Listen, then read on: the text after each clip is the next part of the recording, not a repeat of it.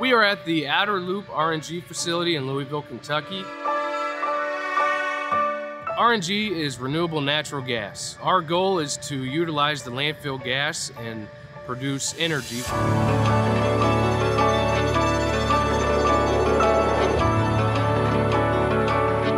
Landfill gas is mostly methane and CO2 with a little bit of nitrogen and oxygen. We start out at about 50% methane and convert that into about 98% methane. We capture the landfill gas on the hill through an elaborate series of wells and pipes that is processed and then sent to the facility here. The environment benefits because we're using a byproduct, cleaning and making natural gas out of it. We're taking the RNG gas and we are injecting it into the pipeline and from there it is distributed to businesses and homes, fueling stations for natural gas trucks.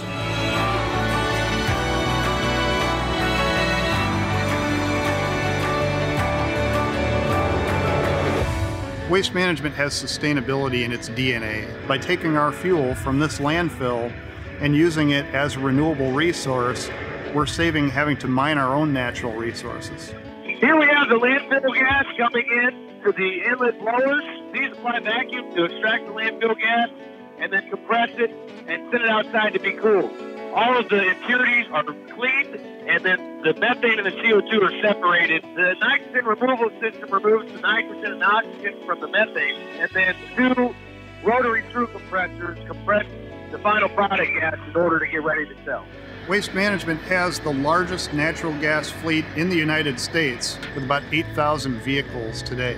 The gas gets pushed into the natural gas pipeline network and it gets pulled out in our CNG fueling stations and then ultimately ends up fueling our vehicles. It's a huge sustainable step. It makes us one of the leaders in using renewable natural gas. The average facility is about a $30 million investment. We're looking to build 10 or 12 of these. That's a three to $400 million commitment. Waste Management's all in on this one.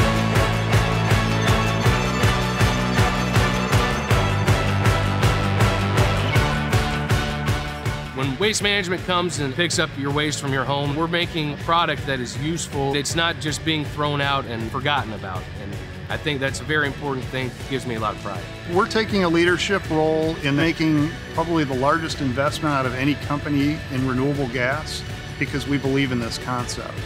People inside this company are fired up every day about what they do. We believe in this, we believe in the technologies, and we believe in the future that it's creating.